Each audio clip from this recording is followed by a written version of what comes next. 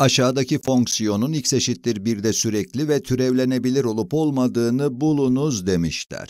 Burada parçalı g fonksiyonunu tanımlamışlar ve burada da seçeneklerimiz var. Sürekli ama türevlenebilir değil, türevlenebilir ama sürekli değil, türevlenebilir ve sürekli, ne türevlenebilir ne de sürekli. Her zaman olduğu gibi haydi hemen videoyu durdurun ve soruyu benden önce kendi kendinize çözmeye çalışın. Şimdi soruyu adım adım çözeceğim. Bunun için de isterseniz önce süreklilik üzerine biraz düşünelim. Evet, g'nin x eşittir 1'de sürekli olması için g1'in x 1'e giderken gx'in limitine eşit olması gerekir. g1, bir bakalım g1'i bulmak için buraya bakmamız lazım değil mi? 1 eksi 1'in karesi ve bu da 0 olur. Şimdi eğer x 1'e giderken gx'in limitinin de sıfıra eşit olduğunu ispatlarsak, g'nin x eşittir 1'de sürekli olduğunu söyleyebiliriz. Bunun için sağ ve sol limitleri incelememiz gerekecek. Sol limitle başlarsak, bu arada sağ ve sol limiti incelemek özellikle bu soru için kesinlikle gerekli çünkü g parçalı bir fonksiyon ve gördüğünüz gibi farklı şekillerde tanımlanıyor. Neyse ne diyorduk? x 1'e soldan yaklaşık yaklaşırken gx'in limiti x 1'e soldan yaklaşırken birden küçük değerler alacağı için buradaki tanımı uygulamamız gerekecek. O halde buraya x eksi 1 yazıyorum. Evet 1'e soldan yaklaşırken gx buna eşit olur. Bu ifade tanımlı ve tüm reel sayılar için sürekli olduğundan x yerine 1 yazarsak 0 elde ederiz. Şimdilik iyi gidiyoruz. Gelin bir de sağ limiti inceleyelim.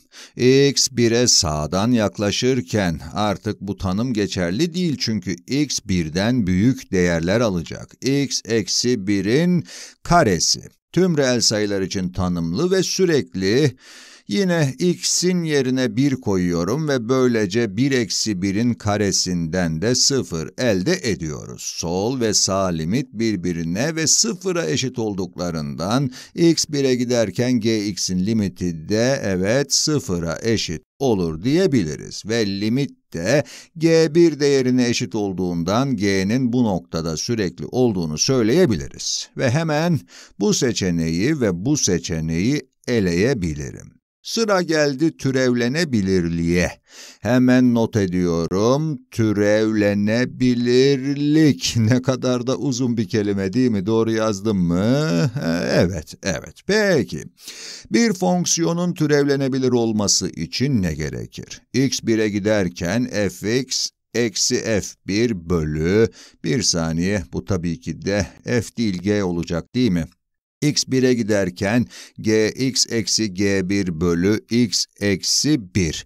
Bunu sağdan ve soldan değerlendireceğiz ama önce biraz sadeleştirelim. g1'in 0 olduğunu bildiğimize göre burası 0 olacak ve geriye gx bölü x eksi 1 kalacak. Şimdi x 1'e soldan yaklaşırken gx bölü x eksi 1'in limiti gx bölü x eksi 1. Soldan yaklaşırken bu tanımı kullanıyoruz kullanmamız gerektiğinden gx yerine x eksi 1 yazıyorum.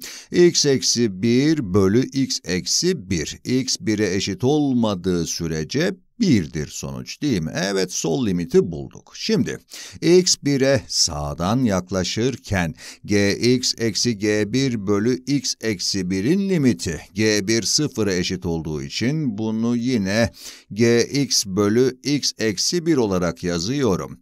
gx bu sefer de x eksi 1'in karesine eşit olacağından buraya x eksi 1'in karesi yazalım.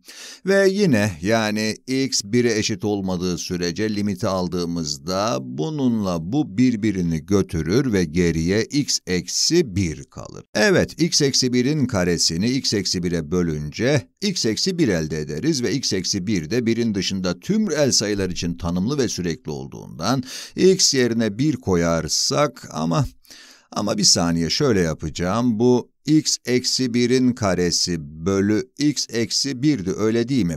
Bu ifade bir dışında tüm reel sayılar için tanımlıdır ve biz 1'e yaklaşıyoruz. Az önce de bunu yaptım ama doğru olduğundan emin olmak istiyorum. Evet bu ifade x 1'e eşit olmadığı sürece buna eşittir ve burada x yerine 1 koyunca da 0 elde ederiz. Şimdi buradaki ifade için sağ ve sol limit değerlerinin farklı olduğunu fark ettiniz değil mi?